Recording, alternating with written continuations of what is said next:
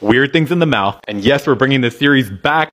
Part 1. If you stick your tongue out and you see these little spiky things underneath your tongue, just know that you are not alone. Not everybody has these, but if you do see them, they're gonna be underneath your tongue on either side of the frenulum. These are called plica fimbriata or more casually, dragon tongue, and they're a normal variation of the tongue tissue.